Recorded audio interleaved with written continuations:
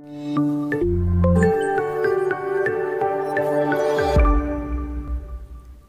everyone, welcome to SH SIR classes. Today in this video, we have to divide a line into six equal part by using compass in easy way. So let's start the video. So first of all, we have to draw here a line of length, any length. Okay.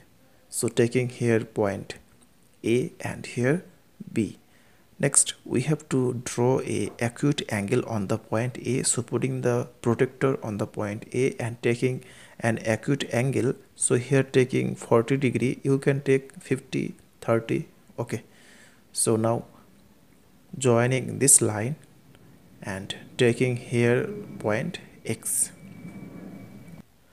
now marking the line ax into six equal parts.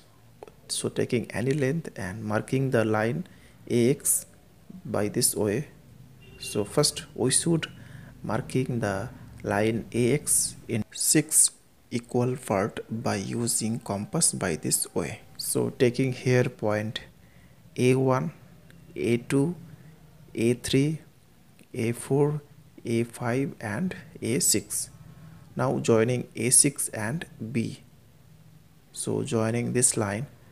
Next we have to draw parallel line on the point a5 a4 a3 a2 a1 with a6b so now putting the compass on the point a6 and taking any length and drawing an arc by this way with same length and putting the compass on the point a5 and drawing an arc by this way similarly drawing arc on the point a4 a3 a2 and a1 by similar way and with same length of the compass.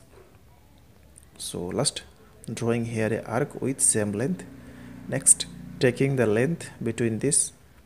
So now taking this length and we have to mark here. Okay.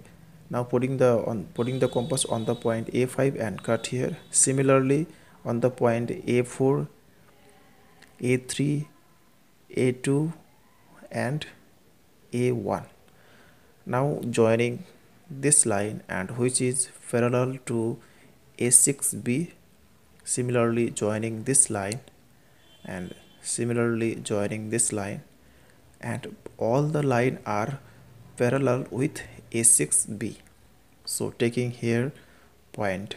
Now checking the length. So all the length are approximately equal. Okay. So taking here point c d e f g.